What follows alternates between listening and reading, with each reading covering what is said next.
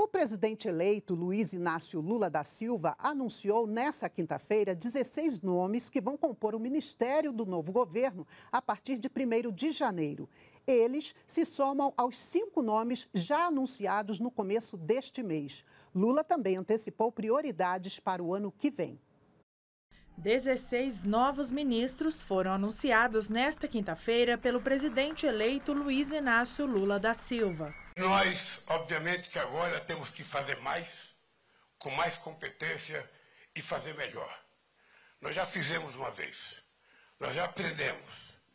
Nós sabemos quais são os caminhos, quais são as dificuldades e nós vamos vencer as dificuldades farão parte do novo governo Alexandre Padilha na Secretaria das Relações Institucionais, Márcio Macedo na Secretaria-Geral, Jorge Messias na Advocacia Geral da União, Vinícius Carvalho, Controladoria Geral da União, Nízia Trindade será a nova ministra da Saúde. Camilo Santana foi escolhido para o Ministério da Educação, Esther Dueck para o Ministério da Gestão, já Márcio França para o Ministério dos Portos e Aeroportos. Luciana Santos, Ministério da Ciência e Tecnologia, Cida Gonçalves, Ministério da Mulher, Wellington Dias, Ministério do Desenvolvimento Social, Margarete Menezes teve seu nome confirmado para o Ministério da Cultura. Luiz Marinho será o novo ministro do Trabalho. Aniele Franco ocupará a pasta da Igualdade Racial.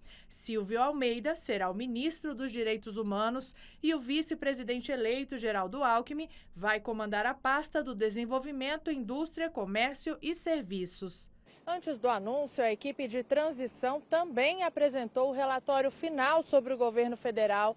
O levantamento reúne informações de 32 grupos de trabalho e resultou em um diagnóstico do governo que servirá para o desenvolvimento das atividades dos futuros ministros.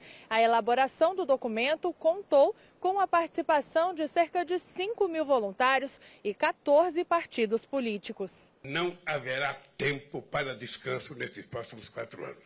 Trabalharei mais do que trabalhei nos outros governos, porque nós temos menos tempo para fazer mais coisas e eu quero sair, quando acabar o meu mandato, mostrando que nós fomos eficientes para atender a parte mais pobre e mais necessitada da nossa população. O presidente eleito agradeceu ainda aos presidentes da Câmara, Arthur Lira, do Senado, Rodrigo Pacheco, e aos líderes partidários pela aprovação da proposta de emenda à Constituição da Transição na quarta-feira. O que parecia impossível aconteceu com a votação expressiva.